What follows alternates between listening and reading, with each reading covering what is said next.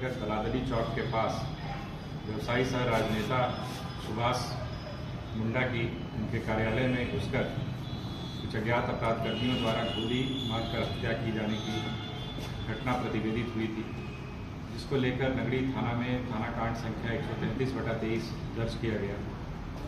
और उक्त कांड के उद्भेदन हेतु सिटी एसपी के नेतृत्व में एक विशेष अनुसंधान दल एसआईटी का भी गठन किया गया। एसआईटी के द्वारा इसमें काफ़ी तेज़ी से काम किया गया और जो भी तकनीकी आसूचना एवं मानवीय आसूचना उपलब्ध थी, उसके ऊपर लगातार कार्रवाई की कार्रवाई के दौरान अनुसंधान के अंतर्गत यह बात सामने आई कि सुभाष मुंडा, जो मुख्य तौर पर ज़मीन के कारोबारी थे, ज़मीन के कारोबार से संबद्ध थे, उनका नगरी थाना अंतर्गत ही दल्ला मौजा में 119 डेसिमल के भूखंड के स्वामित्व को लेकर वहीं के एक और ज़मीन कारोबारी छोटू खलको छोटू उराव के साथ विवाद पिछले कुछ समय से चला आ रहा इस 119 डेसिमल के अलावा एक और ज़मीन थी, जो लगभग 90 डेसिमल का एक प्लॉट था।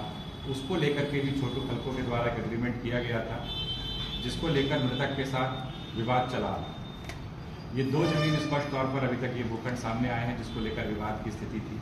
इसके अलावा भी कुछ ऐसे मामले प्रकाश में आए हैं, जिसको लेकर दोनों के बीच में ज़मीन को लेकर एक विवाद की स्थिति बनी, जिस पर अनुसंधान अभी किया जाए उक्त एक सौ उन्नीस डेसिमल ज़मीन पर कब्जा करने के उद्देश्य से छोटू खलको ने सुभाष मुंडा का सहयोगी, जो उनके साथी कारोबार में संलिप्त रहा है, संलग्न रहा है, विनोद कुमार और कन्हैया। उसके साथ में एक डील की कि 119 डेसिमल ज़मीन अगर हमारे कब्जे में आ जाती है, सुभाष मुंडा को की हत्या करने के पश्चात या उसको रास्ते से हटाने के बाद तो उस ज़मीन में हम लोग दोनों ही आधा आधा हिस्सा उसमें कर लेंगे। तो एक तरीके से इन दोनों ने ही सबसे पहले प्लान किया, जिसमें कि इसका ड्राइवर सह पार्टनर अभिजीत पाड़ी, जो छोटू कल्पो का ड्राइवर सह पार्टनर है, वो भी इसमें शामिल था, जिसको इस पूरे घटनाक्रम की जानकारी थी, और वो भी इसमें एक तरीके से संदिग्ध था। इसके पश्चात छोटू कल्पो और विनोद ने उसके एक करीबी कुख्यात अपराध कर्मी से संपर्क किया। जिससे यह डील हुई कि 15 लाख रुपए नकद उसे दिए जाएँगे और 10 डिसमिल ज़मीन जो एक सौ उन्नीस डिसमिल का प्लॉट था उसमें से 10 डिसमिल ज़मीन भी उसको दी जाएगी। इसके आधार पर कुख्यात अपराध कर्मी के द्वारा शूटर्स के भी अरेंजमेंट किए गए। और विनोद कुमार उस कन्हैया के द्वारा अपराध कर्मी को तीन लाख रुपए एवं छोटू खलको के द्वारा एक लाख रुपए अग्रिम राशि के रूप में उपलब्ध कराया गया। छोटू खलको के द्वारा एक देसी पिस्टल भी अपराध कर्मी को उपलब्ध कराया गया। जिसका प्रयोग घटना को पारित करने के लिए हत्या के दौरान किया गया छोटू खलको और विनोद कुमार के सहयोग से उक्त अपराध कर्मी और उसके सूत्रों द्वारा घटना की, घटना स्थल का जो है वो पूर्व से ही रेकी किया गया।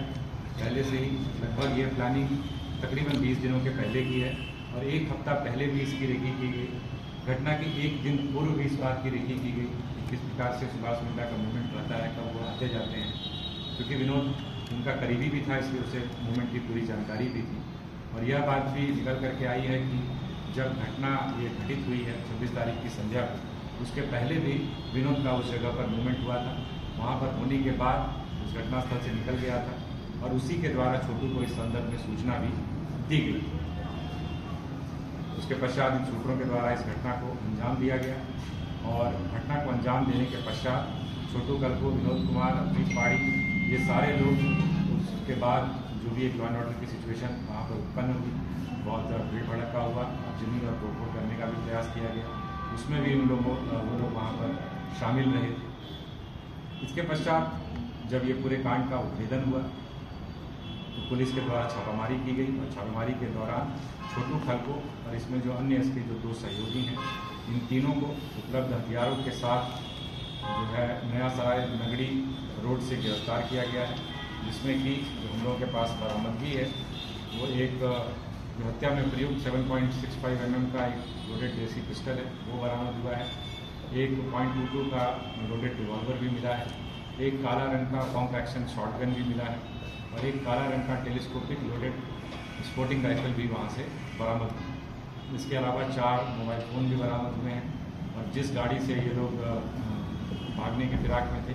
वो गाड़ी भी एक टोयोटा फॉर्चूनर गाड़ी है। वो गाड़ी भी इनके पास से बरामद हुई है। इस प्रकार से इस पूरे कांड का खुलासा किया गया है। कुछ लोगों की गिरफ्तारी अभी शेष है जैसा मैंने बताया। उनके लिए पुलिस लगातार विभिन्न स्थानों पर छापेमारी की कर रही है। उम्मीद है कि बहुत जल्द उनकी भी गिरफ्तारी सुनिश्चित की उस संदर्भ में पुलिस को के पास महत्वपूर्ण जानकारी उपलब्ध है और लगातार छापेमारी ऐसे। ऐसे।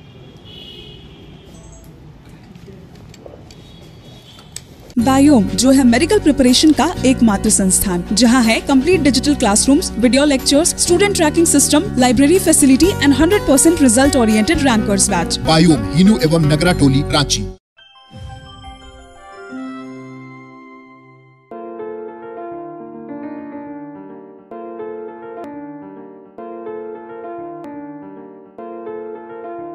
The follow up.in. Like, share, and subscribe. www.thefollowup.in